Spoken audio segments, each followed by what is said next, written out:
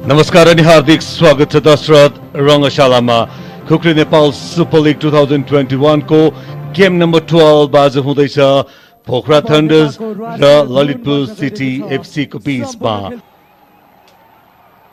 पोखरा थन्डर्सका खेलाडीहरू यस प्रकार छन् कप्तान एवं माकी प्लेयर नवयुग श्रेष्ठ ललितपुर सिटी एफसीका खेलाडीहरू यस प्रकार छन् माकी प्लेयर क्याप्टेन अञ्जन विष्टको बीच नवीन्द्र महर्जनको स्टार्टिङ विसलसँगै पोखरा थन्डर्स र ललितपुर सिटी एफसी बिचको खेल सुरु भएको छ फिल्म बल लिएर अगाडि बढ्ने क्रममा रहेका छन्। उनका टिममेट विङबाट आउने क्रम। मौका बन्न सक्थ्यो तर अफ साइड रहेका थिए विमल राणा।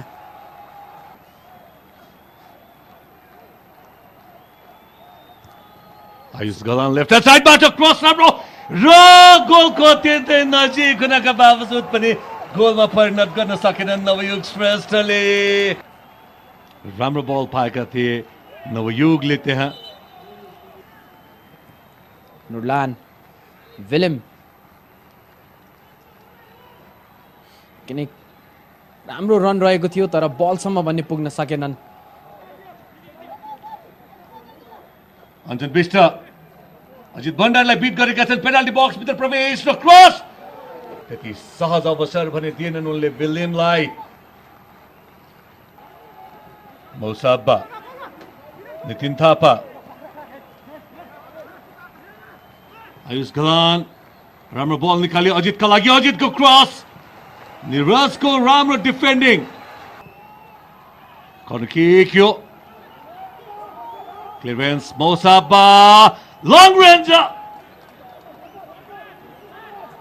अहिलेसम्म खेलेका तीन खेलमा मात्र एक गोल गर्न सफल पोखरा थन्डर्स नवयुग श्रेष्ठले मात्रै गरेका छन्। अहिलेसम्म पोखरा थन्डर्सका लागि विराटनगर एफसी विरुद्ध खेलको अन्तिम समयमा नवयुग बल जित्न सफल राम्रो अवसर यसपटक राम्रो प्रहार गरेका थिए।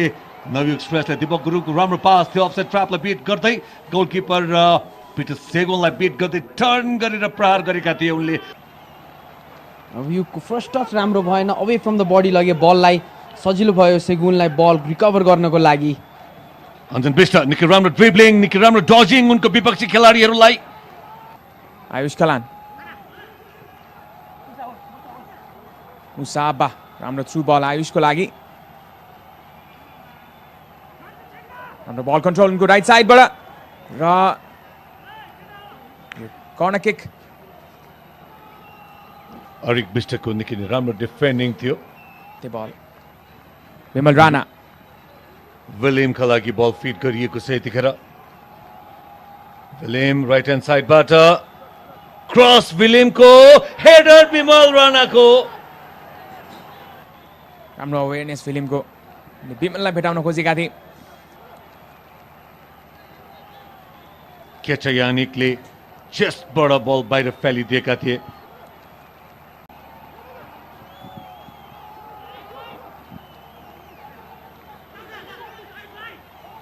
कुवर राम्रो कन्ट्रोल गर्दै बल अगाडि लाने प्रयासमा थिए प्रवेश। अजित भण्डारीले फाउल गरेका छन् त्यहाँ।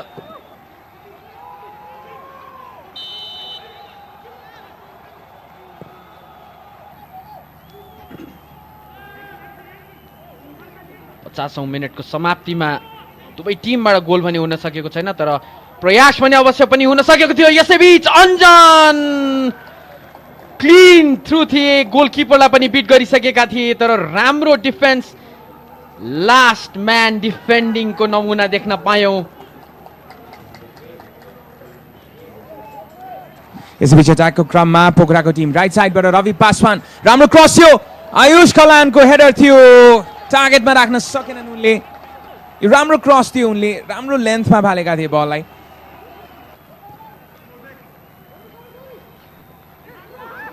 गौरव बल जित्न सफल राइट साइडमा नुरलानलाई नुरलान बल अगाडि बढाउन चाहन्थे तर अवसर दिएनन् केचा यानिकले राम्रो डिफेन्डिङको नमुना तथापि कर्नर किकको अवसर। ललितपुर सिटीको लागि चौथो कर्नर यो। र यसैबिच यो कर्नर किक कमल श्रेष्ठ आएका छन् यो कर्नर किक लिनको लागि। लामो बल यो। अझै पनि अवसर छ ललितपुरलाई अञ्जनको सट ब्लक गर्न सफल रफायल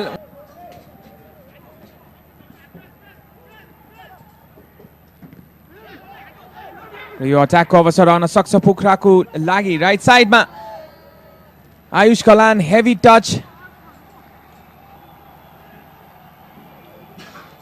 William left साइडमा अञ्जन विष्ट सटको प्रयास सिधै गोलकिपर दीप कार्कीको हातमा पहिलो हाफमा जुन किसिमको रोमाञ्चकता थियो खेलमा सेकेन्ड हाफमा भने हामी त्यसलाई एकदम मिस गरिरहेका छौँ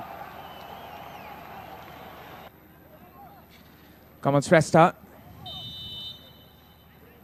फ्रिकिक पोजिसनमा लामो बल यो सजिलै डिल गरिदिए गोलकिपर दीप कार्कीले नविक श्रेष्ठ आयुष कलान रवि पासवान नितिन कम्बिनेसन प्ले बन्दै ट्रायङ्गुलर पासेसहरू पोखराको मानबहादुरको क्रस र यो कन्ट्रोल त्यति राम्रो रहन सकेन नवयुग श्रेष्ठको सिधै गोलकिपर अर्पण कार्कीको हातमा। लेफ्ट साइडबाट कर्णकिकको अवसर खोज्दै पोखराको टिम। होसाको राम्रो बल यो। हेडरको प्रयास राफायल रिमगागोको बललाई कनेक्ट गर्न सकेनन्। देख्न सक्छौँ रिप्लेमा राम्रो जम्प थियो तर अन्तिम मोमेन्टमा आफूलाई डिरेक्ट गर्न सकेनन्। विलियमको पास थ्रु बल यो। राइट साइडमा अञ्जनको लागि। विष्ट ले अफ गर्दै सर्टको प्रयास विलियमको र ब्लक गर्दै मानबहादुर तामाङ रफायल रिमगागो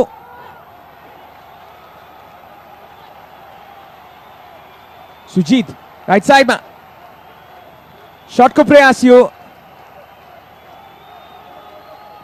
सुजितको क्रस फार साइडमा यहाँ सर्टको प्रयास र मिस गर्न पुगे आयुष खलान